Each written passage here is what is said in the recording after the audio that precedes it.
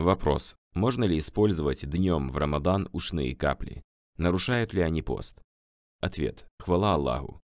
В использовании глазных и ушных капель во время поста нет ничего плохого, их применение пост не нарушает. Некоторые ученые считали, что их использование портит пост в том случае, когда человек чувствует вкус лекарства в глотке. Поэтому из предосторожности лучше не использовать капли в дневное время суток в Рамадан. А если человек почувствует вкус лекарства в глотке, то в будущем лучше возместить пост этого дня. В постановлении Академии исламского фикха сказано, следующие вещества не нарушают пост. Глазные и ушные капли, растворы для промывания ушей, капли для носа, спрей для носа, если при этом человек будет сторониться глотать выделяемое вещество, дошедшее до горла. Шейх Абдуль-Азиз, да помилует его Аллах, сказал, чистка зубов с зубной пастой не нарушает пост, как и использование мисвака, но человек должен остерегаться попадания ее вовнутрь. Если какая-то часть пасты попадет вовнутрь непреднамеренно, то он не обязан возмещать пост. Также дело обстоит и с глазными и ушными каплями. По более верному мнению ученых, их использование не нарушает пост. Если же человек обнаружит вкус лекарств в глотке, то возмещение поста этого дня не обязательно, так как капли не выполняют роль пищи, но лучше возместить из предосторожности. Что же касается каплей для носа, то их использовать нельзя, потому что нос соединен с глоткой. Пророк, саллиллаху алейхи вассалям, сказал, «Хорошо промывай свой нос, кроме случаев, когда не постишься».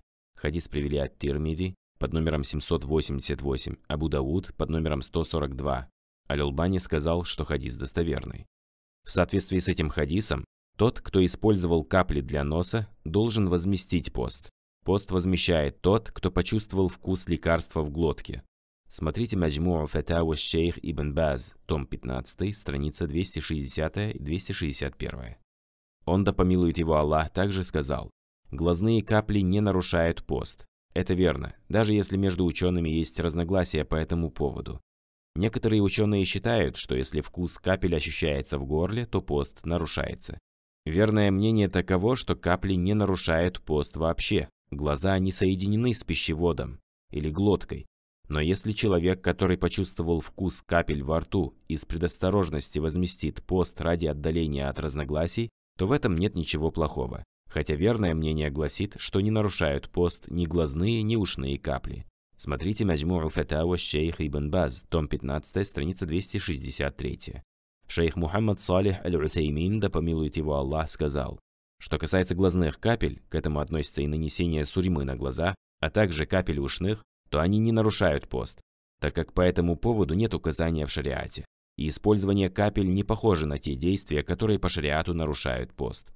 Глаз не является отверстием для принятия пищи и питья, как и ухо. Они похожи на остальные поры тела.